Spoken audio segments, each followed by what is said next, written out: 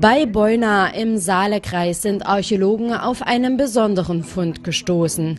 Im Vorfeld des Neubaus des Zubringers L178N zur B91 durch die Landesstraßenbaubehörde Sachsen-Anhalt für das Landesamt für Denkmalpflege und Archäologie Sachsen-Anhalt derzeit archäologische Untersuchungen durch. An der Fundstelle nahe der L178 wurden bisher fünf Körperbestattungen aufgedeckt die in einem direkten räumlichen Bezug zueinander stehen. Doch was macht diesen Fund so besonders?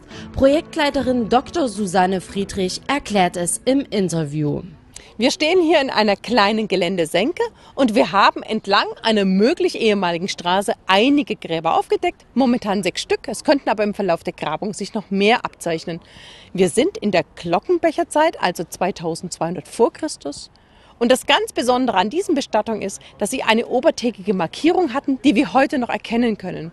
Und zwar hatte man die Gräber etwa ein Meter, anderthalb Meter tief in den Boden eingebracht und an der Oberfläche hatte man sie mit Sandsteinplatten markiert, damit es zu keinen Wiederaufgrabungen gab, zu weiter weiteren Benutzung oder Verdichtung des Bestattungsplatzes.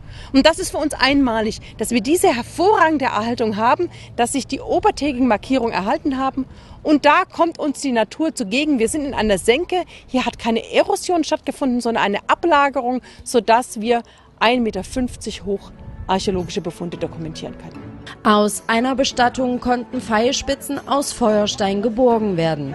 Neben vier dieser Gräber konnte jeweils eine Steinsetzung aus Sandsteinplatten dicht unter dem heutigen Flughorizont entdeckt werden.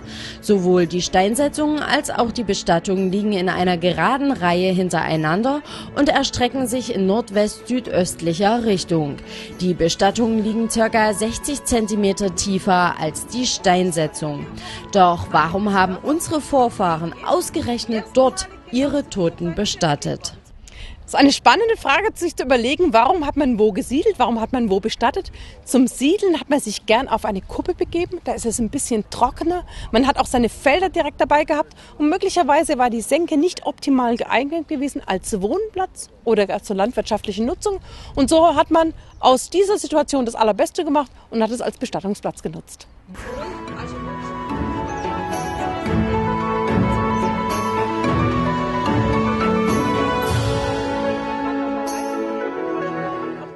Auf den Steinen sind leider keine Symbole oder Namen. Es handelt sich um unbehauene Felsgesteine.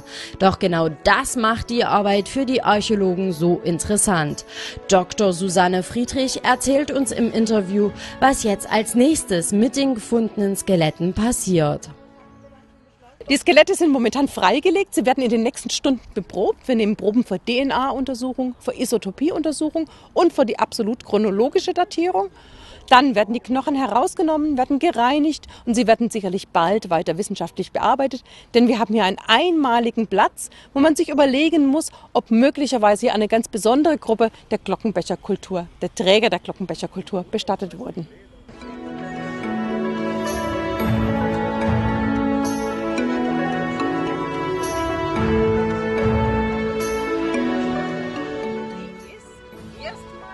Und egal, was bei den Untersuchungen der Gräber, die ca. 4400 bis 4800 Jahre alt sind, herauskommt, eines kann man mit Sicherheit jetzt schon sagen.